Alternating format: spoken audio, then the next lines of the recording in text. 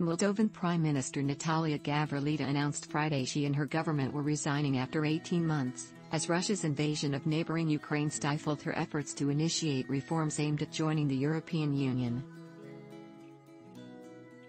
At a news conference Friday in the capital of Chisinau, Gavrilita, who was appointed by President Maia Sandu in August 2021, lamented that she took over the government with an anti-corruption, pro-development and pro-EU agenda, but no one expected the nation to be facing so many crises.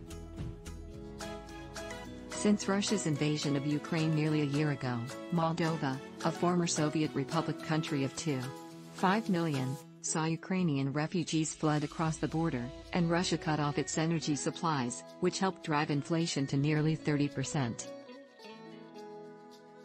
The Ukraine war has spilled across the border as well, with Moldova suffering power cuts as the result of attacks on Ukraine's power grid.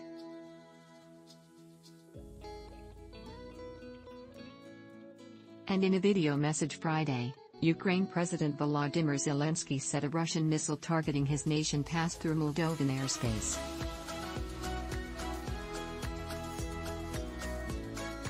Friday's events come one day after Zelensky told European Union leaders in Brussels his country had intercepted a detailed Russian plan to destroy Moldova politically, by breaking down the democratic order and establishing control, as it has attempted to do in Ukraine. He said he informed President Sandu of the plans immediately. Speaking with VOA on Friday, White House National Security Council spokesman John Kirby could not confirm Zelensky's claims. Moldovan Prime Minister designate Dorin Recean speaks after being appointed by President Maia Sandu, left, to form a new government in Chisinau, Moldova, February 10, 2023. On her Facebook page, Sandu acknowledged she had accepted Gavrilita's resignation and thanked her for her enormous sacrifice and efforts to lead the country in a time of so many crises. She said under Gavrilita, the country was governed responsibly, with a lot of attention and dedicated work. We have stability, peace and development, where others wanted war and bankruptcy.